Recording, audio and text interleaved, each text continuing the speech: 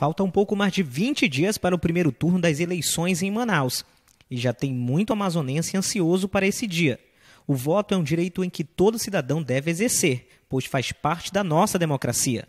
A democracia não é só um sistema político ou um regime de governo. Democracia é valores, práticas que a sociedade não abre mão.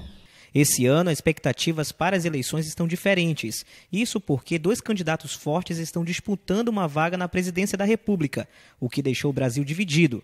Muitos já estão contando os dias para saber o resultado das votações. Segundo o Tribunal Superior Eleitoral, mais de 2 milhões de pessoas estão aptas a votar. As mulheres aparecem com 53% e os homens com 47%.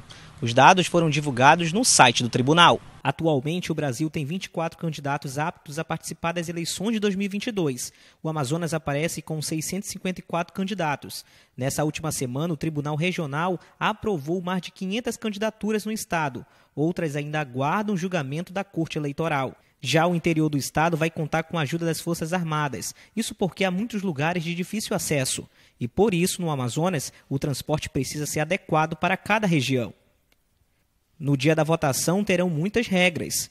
Não poderá ter aglomeração de pessoas com bandeiras que caracterize uma carreata ou um comício nas vias de Manaus.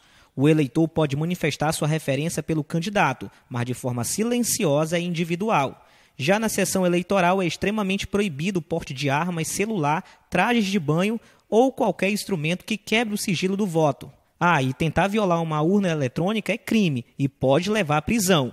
O comércio pode funcionar normalmente, contando que todos os funcionários possam votar. E venda de bebidas alcoólicas continuam sendo proibidas de 6 horas da manhã até 6 horas da tarde. Fique atento às restrições e não deixe de cumprir seu papel de cidadão. A democracia é um direito de todos.